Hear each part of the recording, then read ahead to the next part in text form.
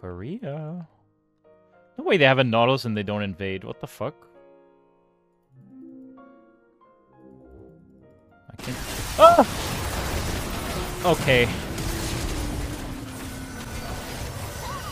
Alright.